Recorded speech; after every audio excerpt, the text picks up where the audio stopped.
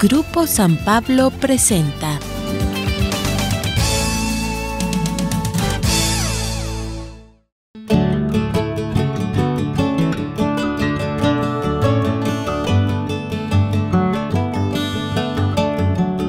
Hola, ¿qué tal? Mi nombre es Roberto Ramírez y como cada semana te doy la bienvenida a este tu programa El Domingo. Aprovecho este espacio para mandar un saludo a todos los que nos ven por nuestro canal San Pablo México. Nos encontramos en el 31 domingo del tiempo ordinario y nuestra meditación se titula Había un hombre llamado Saqueo, tomada del Evangelio de San Lucas. Antes de comenzar, te recuerdo que cada una de las meditaciones las puedes encontrar en tu hoja dominical el domingo. Comenzamos. Saqueo era un hombre rico. Tenía como oficio recaudar impuestos, un trabajo bien pagado, pero despreciado por los judíos. En el Evangelio se narra que tenía curiosidad de ver a Jesús. Cuando escuchó que pasaba y vio que la gente se arremolinaba en torno a él, movido por una inclinación de lo más natural, pasó por entre la gente, subió a un árbol porque era de baja estatura, aguantando las ofensas y las burlas, sin esperar lo que vendría después. Jesús lo llamó por su nombre, y no solo eso, le dijo que se quedaría en su casa.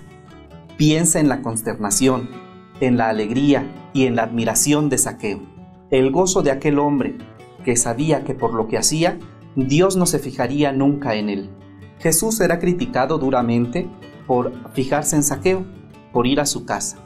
Un hombre piadoso no puede comer en la mesa de un pecador, de un impuro, que se ha hecho rico a base de trabajar para los opresores, que no le ha importado la suerte del pobre, sino que pague sus impuestos.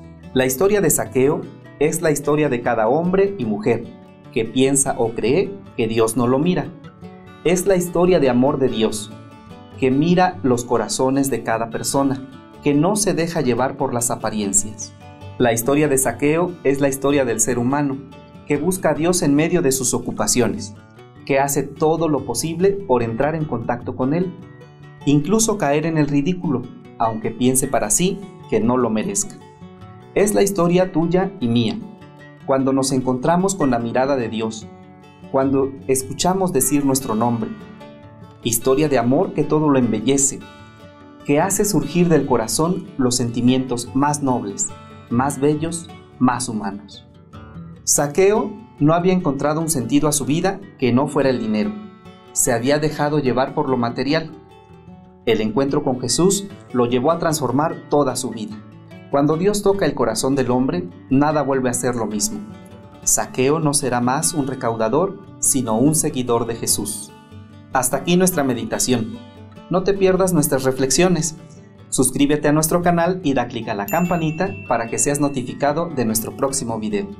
Tú también puedes colaborar en la evangelización de tu comunidad con la ayuda de la hoja dominical El Domingo. Solo coméntale a tu párroco y suscríbanse a atención al cliente. Que el buen Dios nos bendiga a todos. Hasta la próxima.